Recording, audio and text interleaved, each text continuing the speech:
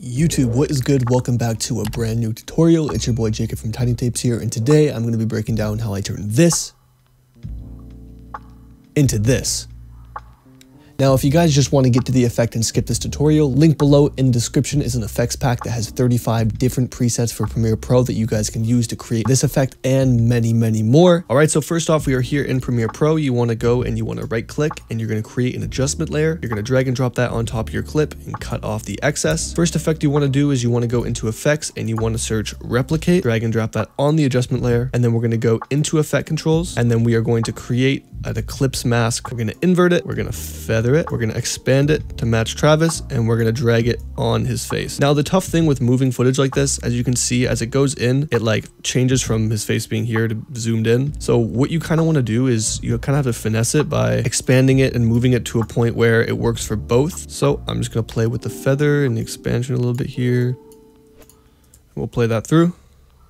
All right, so I think that works there. And as you can see, it looks cool already, but the lines here, you want to get rid of those lines. The way we're going to do that is we're going to go back into the adjustment layer and we are going to create a mask under opacity. We're going to grab our pen tool. Uh, I recommend putting this to about 25% when you're doing it and you can press tilde to zoom in. You're just going to start masking around the edges. So I'm going to click there and you just want to mask around these so they're not visible. Just go all the way up. You're basically going to be creating a cross in the middle. I'll be showing you guys what you're going to do with those afterwards. All right, once your cross has been created, as you can see, you want to go and you want to invert that. And then you're going to do pretty much the exact same thing as before. You're going to mask expansion it just a little bit. And then the main thing is the feather to blend it in, as you can see there. So that is the kaleidoscope effect there. If you guys want to add a little bit more sauce to it, you can drag and drop on another adjustment layer. and go into effect controls, click on the adjustment layer, turn your opacity to screen. All right. You're going to go into effects. You're going to add transform, drag and drop the second one on there. Okay. We're going to scale that up just like that. And then go into effects and you're going to add chromatic aberrations VR, drag and drop that on, and then you guys can play with it to your liking. You guys can also keyframe fall off distance here. So you see that's max and that's nothing pretty much. You can go beginning keyframe at zero, drag it to 100 and then play that through just so as it grows as it goes in. That is a pretty cool look there already. And then for the third look, we're going to drag another adjustment layer on, hit C to cut the excess off. We're going to go into effects. We're going to do pretty much the exact same thing. We're going to be changing this to screen, applying transform again. Once again, the second one, drag and drop that on, make that bigger. And then the main one for this is we are going to be applying a directional blur and turning up the blur length and you guys can change the direction to whatever you want. Now it does make it a lot brighter. So if you guys want to fix that, you can go into the opacity and turn it down just so you get, as you can see on his chain there, it's at zero. And then let's say we turn it up to that. And then as well, if you want to add another adjustment layer, you guys can go into Lumetri color, turn down the shadows to make, make it go back to normal. So there you go. You have that look there. And then if we go back to the other layer, we can add a tint. We can change the white to whatever color we want. So see his flannel's yellow, go and match that to a nice yellow. So as you can see, all of the flares that are being created have a nice yellow undertone. And if you want more of them, you can turn the opacity up. You can also turn the opacity all the way up and then turn this